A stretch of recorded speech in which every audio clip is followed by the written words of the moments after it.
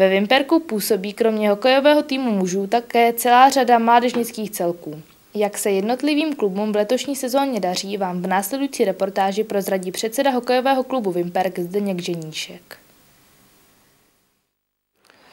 Tak soutěže ještě nejsou úplně na konci, zbývá každému týmu několik zápasů a když to vemu o těch nejmenších, tak druháčci, těm zbývá ještě jeden turnaj, tam se nějakým způsobem tabulka nevede a uh, ty výsledky mají velice dobré. Teď v posledním turnaji ve Vimperku porazili jak silný písek, tak silný tábor, takže tam spokojenost opravdu velká.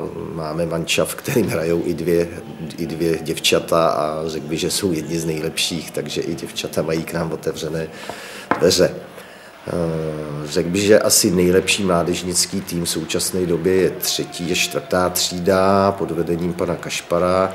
Eh, opět tabulky se nevedou, což si myslím, že je škoda, protože kdyby se vedly, tak ty třetíáci by byli prakticky na prvním místě, protože vyhrávají téměř vše. Eh, zajímavý výsledek byl tuto neděli, kdy porazili eh, Milevsko 34 ku 3, což je opravdu branek jak maku. Eh, tato třída prakticky hraje i čtvrtou třídu, hraje ji o rok se staršími, nicméně samozřejmě ty zápasy jsou pro ně obrovsky těžký a eh, ale už se stalo, že i několik zápasů vyhráli v té soutěži, takže nejsou tam rozhodně někde na konci. Eh, pak máme žákovskou ligu, je to pátá, šestá, sedmá a osmá třída společně spojení se Strakonicema.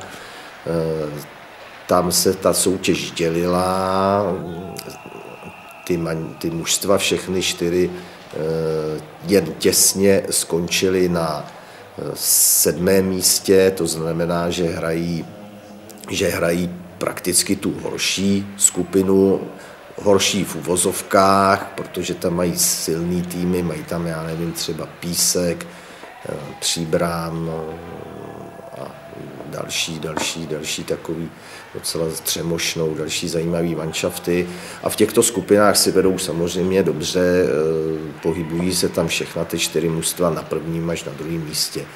Eh, budou hrát ještě teda do konce, do konce března, takže ty mají před sebou ještě asi 6 nebo 7 kol. Poměrně dobře hraje i dorost ve velmi vyrovnané soutěži. Ten dorost eh, je tam v současné době asi na pátém místě, nicméně má stejně budů jako, jako mužstvo na třetím místě a pokud se mu poslední tři zápasy povedou, tak, tak věřím, že by se mohli dostat na medailový místo. Eh, prakticky skončili junioři, nebo čeká je ještě poslední zápas, eh, jsou tam teda spíš ke konci tabulky, nicméně pro nás mužstvo juniorů je důležité pro mužstvo mužů, kdy nám vychová další nástupce a, a už jsou tam hráči, kteří víceméně stabilně hrajou za, za, za ty muže a někteří už si to zkusili eh, taky, takže tam spokojenost prakticky taky veliká s tím letím. Chodí většinou teda rodiče a čím mladší, tak tím víc rodičů. Přesto těch diváků je poměrně dost a, a vytváří tam docela nádhernou atmosféru. Chtěl bych teda ještě diváky pozvat na zbývajících pět zápasů, které ještě do půlky března se budou hrát na zimním stadioně ve Vimperku. A jsou to 26. února v sobotu 5. a 6. třída s Veselým, 27. února v neděli eh, opět Veselý, ale dorost a pak eh, další sobotu 5. 3. třetí a čtvrtá třída s Veselým a po nich Jindřichův Hradec, pátá a šestá třída a poslední domácí zápas se hraje 7. a 8. třída 13. 3. v Střemošnou. Z velmi úspěšného mistrovství České republiky staršího žetstva v běhu na lyžích v Jelenici se vrátili mladí závodníci z klubu Šumava Vimperk. Z víkendového trojzávodu přivezli domů do Vimperka celkem sedm mistrovských medailí. Součtem dosažených bodů v Českém poháru jsou vimperští závodníci za nepolapitelnou Jelemnicí a skytýmem Jeseník na krásném třetím místě v soutěži smíšených družstev. Další zajímavosti z těchto závodů vám v následujícím rozhovoru prozradí Zbyněk Pavlásek tak eh, byly to žákovské závody a pro žáky to byl vlastně vrchol sezony. Bylo to mistrovství České republiky v běhu na lyžích pro rok 2011.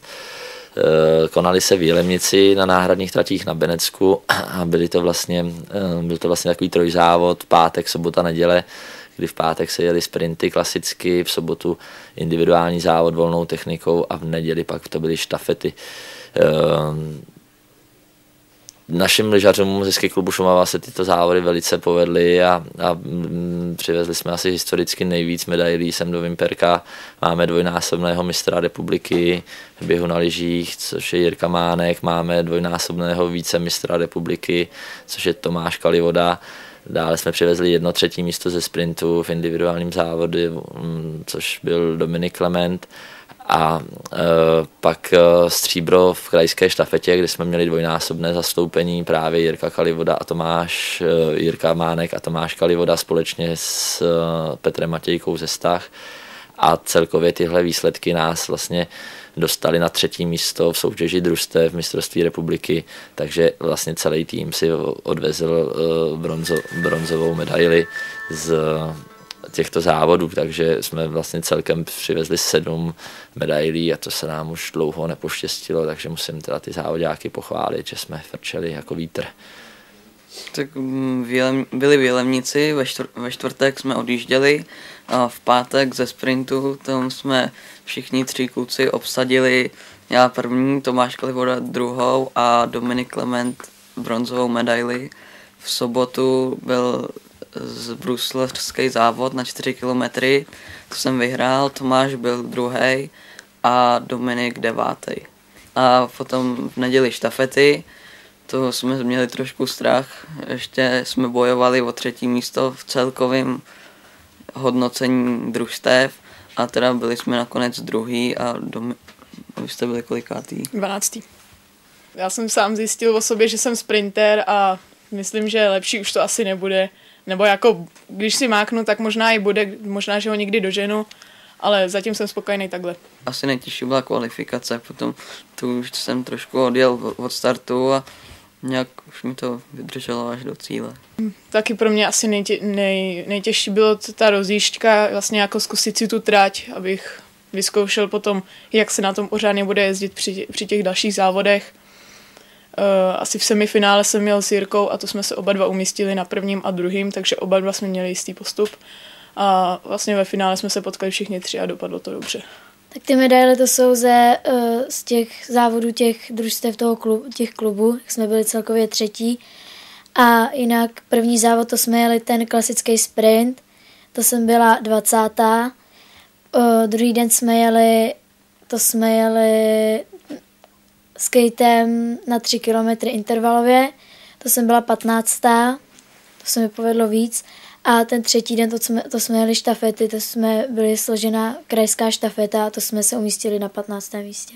Sprinty klasicky, ty se mi moc nepodařily, byla jsem až 35. Pak jsme jeli klasicky 3 kilometry, ty se mi docela povedly, to jsem byla 21. A štafetu jsme jeli klubovou, to jsme skončili 16. Docela se nám to povedlo.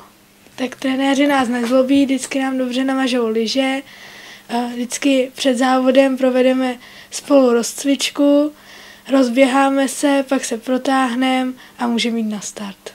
Celý ski klub a asi tak jak jsem to viděl, taky půlka Vimperka téměř chystá šumavský maraton, který je opravdu za dveřmi, je to teď teda sobota, neděle, což eh, je pro ty děti pouze takový rámcový závod a takové odlehčení, ale právě ty závodníci, starší žáci, tady i mladší žáci budou mít um, vlastně